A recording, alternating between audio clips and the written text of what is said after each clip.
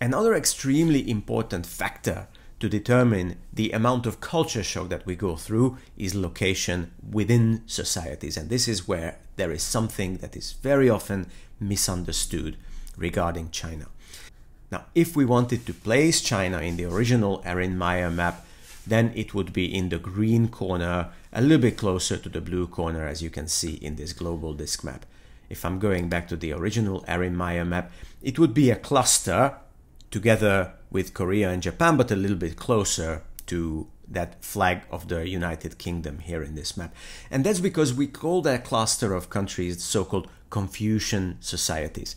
But Confucian or not, there is a little bit of confusion here. I come from Europe, I am Hungarian, although I have lived in Asia for a very long time. And I can tell you when Western professionals prepare themselves for doing business in China, very often what they want to understand is ancient philosophies like Taoism, Buddhism, Confucianism, and so on. Then, when they arrive in China, they typically arrive in a location where they are going to work, like Shenzhen, Shanghai, or Beijing, and they are very surprised that people there are not patient, obedient, harmonious. Actually, people in these cities are competitive, result orientated, tough, and they always seem to be in a hurry. So then they are asking me, Gabor, I read in these books about Chinese culture that Chinese people follow Confucian values.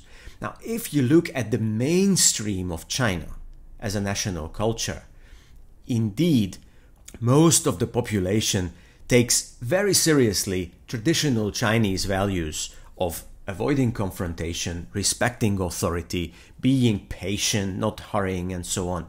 But the 10 or 20% of the Chinese population that most foreigners meet, just like yourself and most foreigners work together with, they are not like this at all.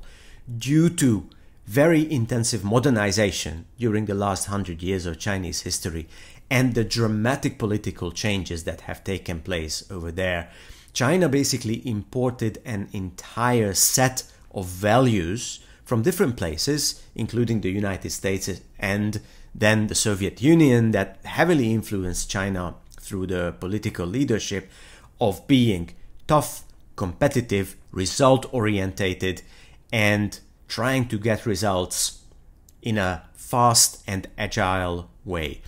What does it mean in practical terms when you are working with Chinese people? One important thing is not to be too surprised when you find out that Chinese people switch back and forth between traditional and modern values in a fairly flexible way.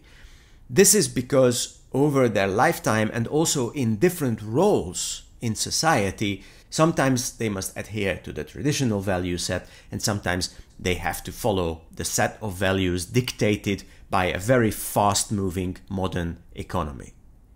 Education is a great example for that.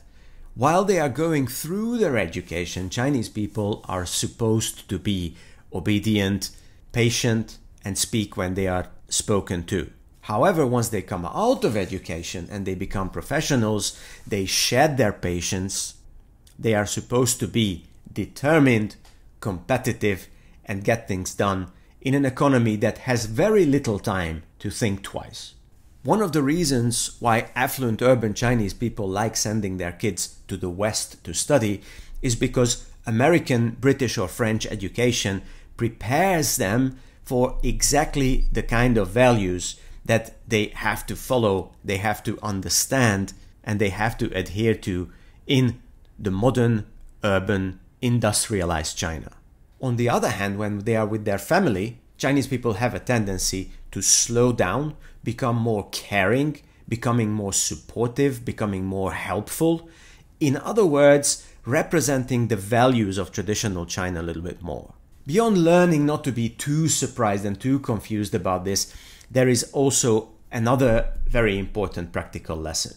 To some extent, when we are working with Chinese people, we have to be able to learn to skip back and forth between these two competing cultures. When we are in an office with Chinese people, or at a manufacturing plant, or at a container port, we usually feel that the pace is very fast. The thinking is very practical. When something is wrong, Chinese people are not afraid to tell you it is wrong. They don't beat about the bush. They can be fairly critical with each other as well. On the other hand, when the time comes to have a longer meeting, to have a networking over meals, for building personal relationships, suddenly we feel that they slow down, they become very attentive, and in these situations, it can even be considered uncool to become emotional and to be in a hurry.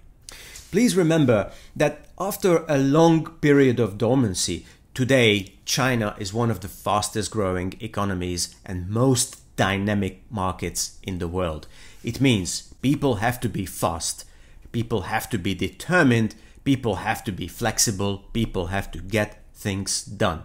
But in this kind of environment, people have to make decisions based on limited information very fast, which also means it's easy to make mistakes. And because of that, Chinese people rely very heavily on social networks that take time to build up that will protect them in case something goes wrong and there is the need to correct the previous decision fast and in a flexible manner.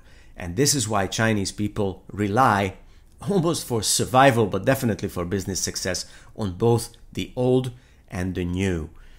The slow going, trust based, attentive, helpful traditional Chinese culture and the competitive, agile, flexible, determined, modern Chinese culture. These two cultures are very often overlooked. Too many people think that China is a homogeneous society, basically following a 5,000 year old culture code, and people can be completely shocked when they go to a place like Chongqing City and they find out how fast, how flexible and focused Chinese people can be at work. I think this is the secret of becoming a successful business person in China. And perhaps I can add one more tip. Whenever you're confused, ask somebody who has extensive experience in China because this reality is not only complex with these two alternative cultures, but also changes fairly fast. But anybody who is from China or knows China fairly well will be more than happy to help you and apply this general principle to very specific situations. I hope that you will contact me and ask me questions about work situations that you wanted to solve but it didn't go very well. You wanted to solve, it went very well, but you're not sure why, or you need to solve in the future. And I very much look forward to your questions. I will be very happy to answer them. Thank you very much.